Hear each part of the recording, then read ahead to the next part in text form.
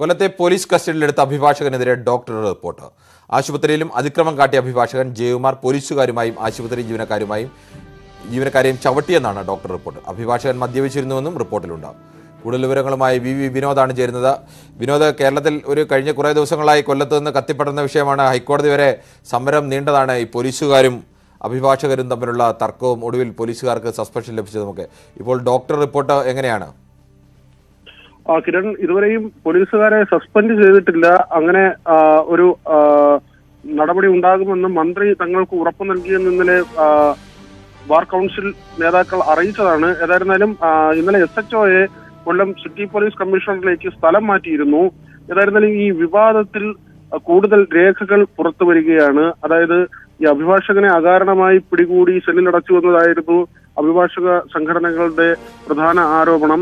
അതിനെ തുടർന്നാണ് ഹൈക്കോടതി ബഹിഷ്കരണം ഉൾപ്പെടെയുള്ള നടപടികളുമായി സമര പരമ്പരയുമായി അഭിഭാഷകർ മുന്നോട്ട് പോയതും ഇന്നലെ നിയമമന്ത്രിയുമായി നടത്തിയ ചർച്ചയ്ക്കൊടുവിലാണ് ഈ സമരം പിൻവലിക്കാൻ തീരുമാനമായത്. ഏതായിരുന്നാലും ഇപ്പോൾ ഈ പുറത്തു വരുന്ന രേഖകൾ പ്രകാരമാണെങ്കിൽ അഭിഭാഷകൻ മദ്യപിച്ചിരുന്നുവെന്ന് ഡോക്ടർ സർട്ടിഫിക്കറ്റ് ഉണ്ട് അതോടൊപ്പം തന്നെ ആശുപത്രിയിൽ പോലീസിനെയും ആശുപത്രി ജീവനക്കാരെയും അഭിഭാഷകൻ ആക്രമിച്ചു എന്നുകൂടി ഈ ഡോക്ടറുടെ സർട്ടിഫിക്കറ്റ് ഉണ്ട്. മറ്റൊരു കാര്യം ഈ ടെലിഫോൺ രേഖയുമായി ബന്ധപ്പെട്ടതാണ്. അതായത് ഈ അഭിഭാഷകനെ റോഡിൽ വെച്ച് പോലീസ് കയ്യേറ്റം ചെയ്തു മർദ്ദിച്ചു എന്ന നിലയ്ക്ക് മറ്റൊരു അഭിഭാഷകൻ മൊഴി നൽകിയിരുന്നു. പക്ഷേ ഈ മൊഴിയിൽ ചില സംശയങ്ങൾ ഇപ്പോൾ ഉയർന്നു വരുന്നു. കാരണം ഈ അഭിഭാഷകന്റെ മൊബൈൽ ടവർ മറ്റൊരു സ്ഥലത്താണ് കാണിക്കുന്നത്. ഏതായിരുന്നാലും അക്കാര്യത്തിൽ ഒരു വ്യക്തതയില്ല. അങ്ങനെ ഒരു രേഖ കൂടി പുറത്തു വരുന്നുണ്ട്.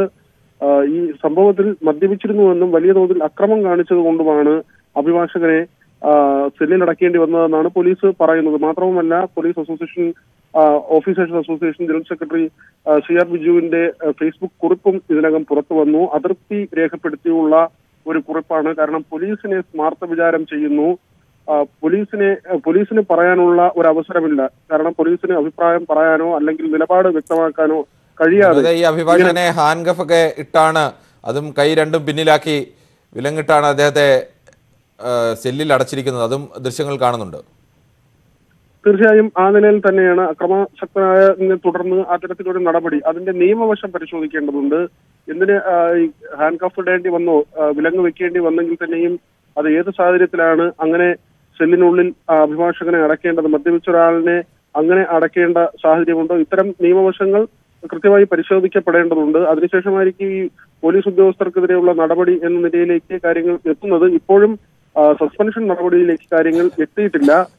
പക്ഷേ അക്രമാസക്തനായതുകൊണ്ട് നടപടി സ്വീകരിച്ചു എന്നതാണ് നാട്ടുകാരുടെ പരാതിയിൽ പോലീസ് നടപടി സ്വീകരിച്ചു എന്ന ഒരു കാര്യമാണ് അസോസിയേഷൻ നേതാവിന്റെ ഈ ഫേസ്ബുക്ക് പോസ്റ്റിലൂടെ പറയുന്നത്. മാത്രവുമല്ല തെറ്റിനെ ന്യായീകരിക്കുകയല്ല.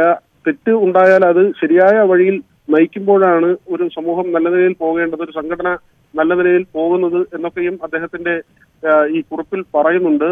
ഏതായിരുന്നാലും വലിയ വിവാദമായ സംഭവത്തിൽ ഈ അഭിഭാഷകൻ മദ്യപിച്ചിരുന്നുവെന്നും അദ്ദേഹം ആക്രമിച്ചുവെന്നുമുള്ള ഡോക്ടറുടെ റിപ്പോർട്ടുമാണ് ഇപ്പോൾ പുറത്തു വരുന്നത് കിരൺ. ശരി.